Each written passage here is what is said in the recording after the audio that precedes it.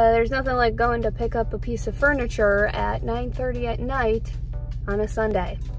I think this month is gonna kill me.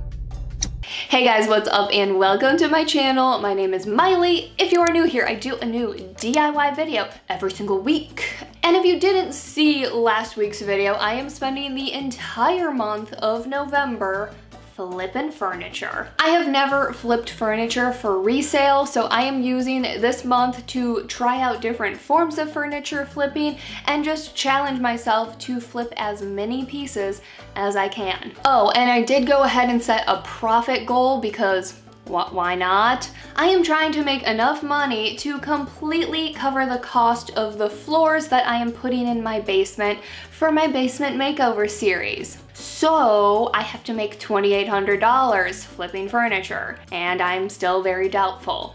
But I am going to give it my flipping all, pun intended. So let's get to this week's furniture flips. Oh wait, hold on.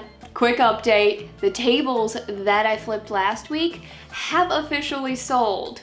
And that's the only update. So let's get to this first item. Okay, up first, I have a gossip bench and I got this thing for 20 bucks on Facebook Marketplace. The lady had it listed for 40, but when we were messaging back and forth, she said she would give it to me for 20 if I could come pick it up right then and there. So I went and picked it up at almost 10 o'clock at night on a Sunday. It was really fun. And this thing sold before I even got started on it. My sister saw it in the background of a photo I sent her and instantly wanted it. So she got to influence a little bit of what I did with this piece.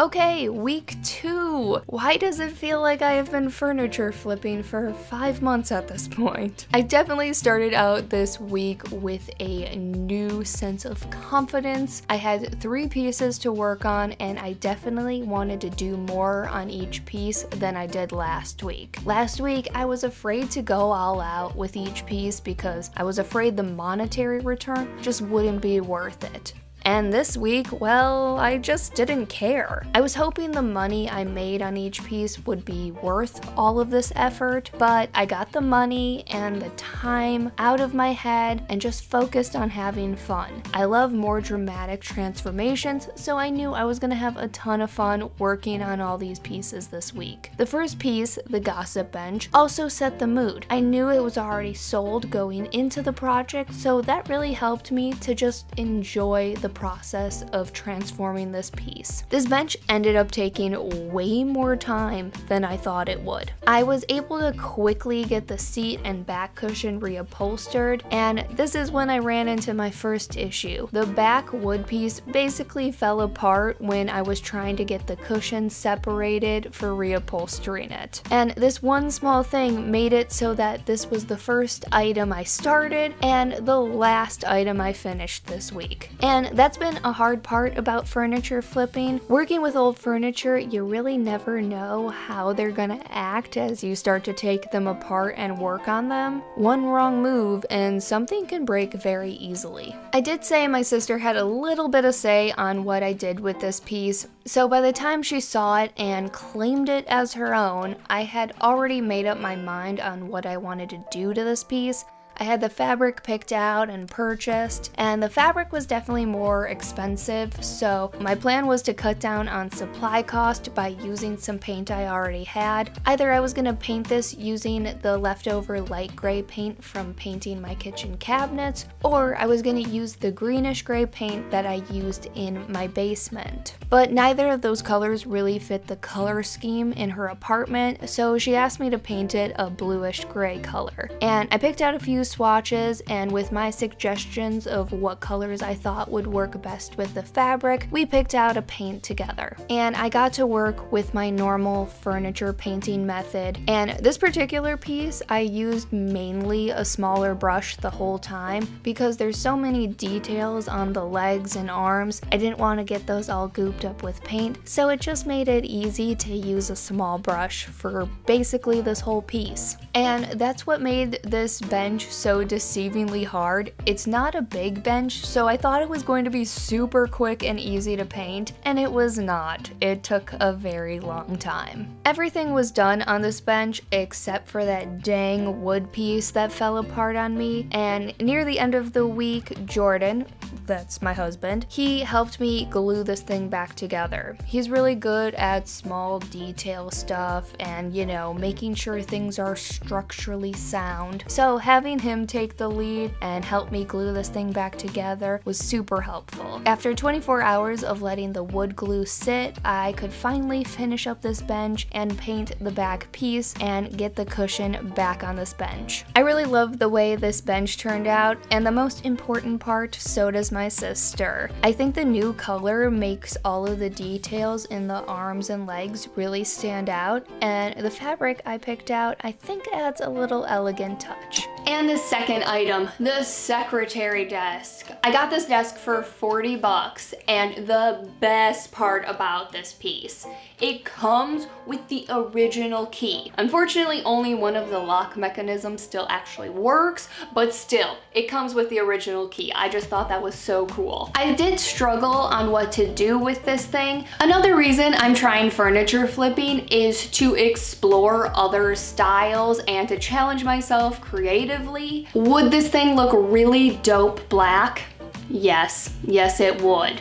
But I didn't paint it black and I kind of went all out with this piece. Okay, when I got the secretary desk, I instantly fell right into my normal Mailey trap of wanting to paint this desk black. I saw several similar desks online that people painted black and they all looked super dope but I really wanted to try something new and explore some color. The Gossip Bench not only set the mood for making me really enjoy the process and the transformation, it also sent me down a path of trying some new colors and busting out of my creative rut that I got myself into by always painting things black. Especially because I'm not even keeping these pieces, so it doesn't have to fit the color scheme of my house. And this was another piece that was also deceivingly hard to paint. All the intricate details on the legs and drawers, and also the red was very hard to cover up, and this took several layers of paint to fully cover up the red. Normally, I only have to do two layers of primer and two layers of paint to cover up everything, but in some areas, there's even four coats of paint on this thing. And don't even get me started with painting this little shelf thing that goes inside the desk. This was so hard to paint and took a lot of patience painting inside each little tiny section. And like I said before, I did struggle with coming up with exactly what I wanted to do with this desk.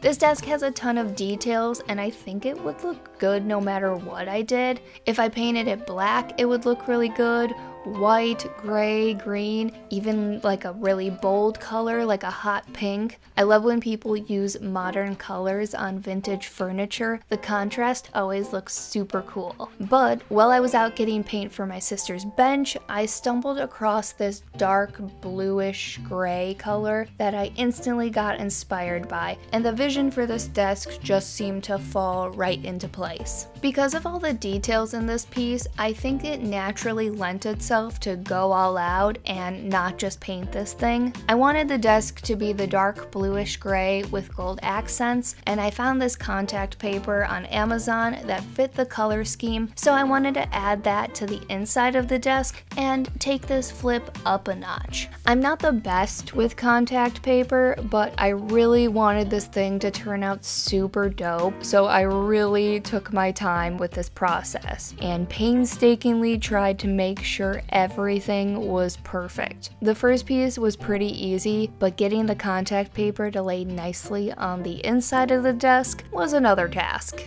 It was a lot of work, but look how cool that looks, and it just takes this piece to a whole new level.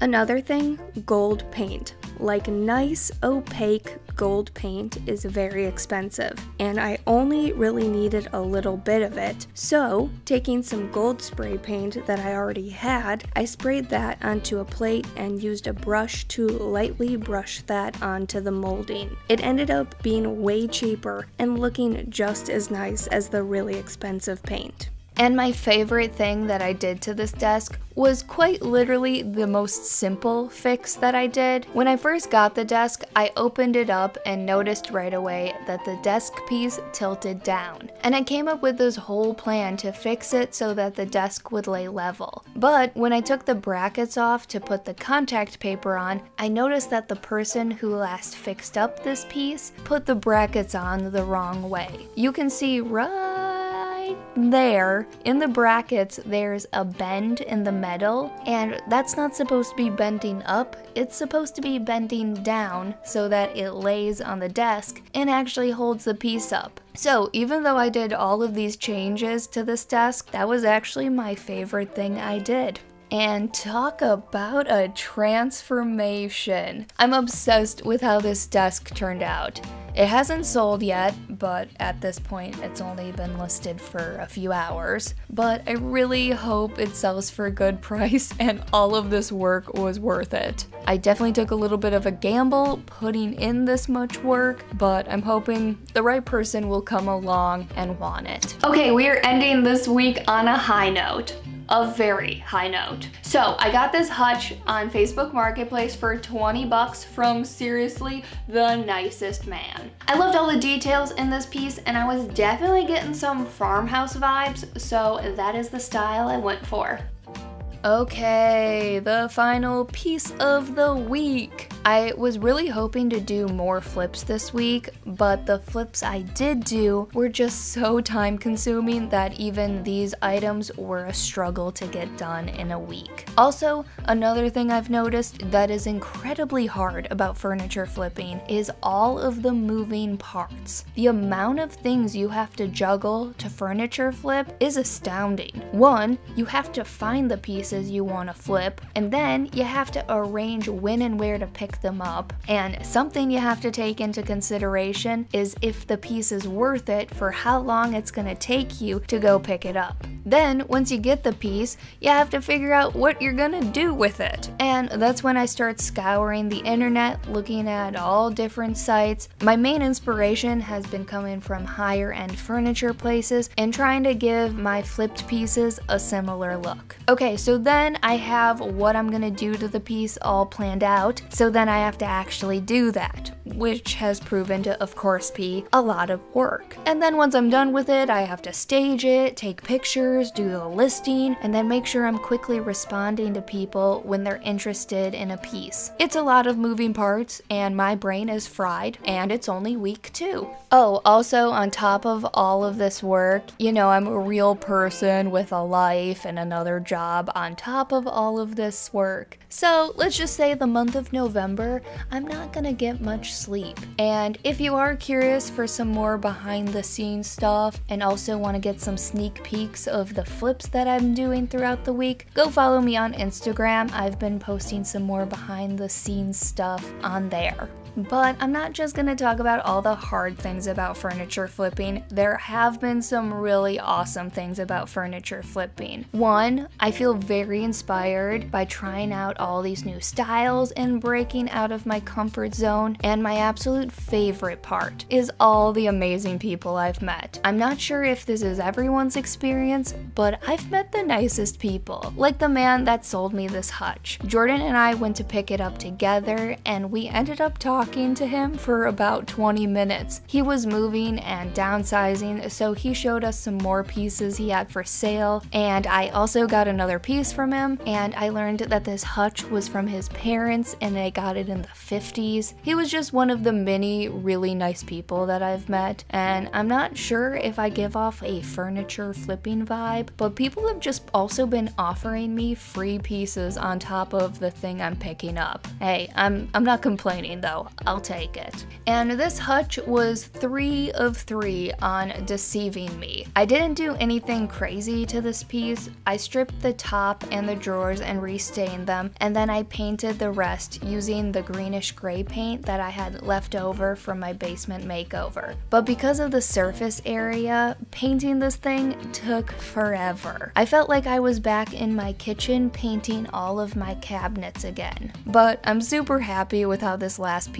turned out. The wood and the paint combo I think looks really beautiful together, and the new hardware definitely takes it up a notch. This was really the only piece this week that I had to stage, so I moved it into my kitchen and staged it like it was a coffee bar. The desk, I really just let that thing speak for itself, and of course the gossip bench, I just had to text a few pictures to my sister. And that was it. I'm so happy with how each one of these flips turned out. I think they are all so different, and I am so proud of myself that I did not paint a single item black. But this week was very challenging, and I'm still trying to find the balance to all this. I think next week I'm gonna combine the first two weeks, do one harder flip like this week, and then have the rest be easier flips like the first week. I hope you guys liked this video, and thanks for all the support thus far on the series. Let me know which flip this week was your favorite in the comments down below. As always, thanks so much for watching.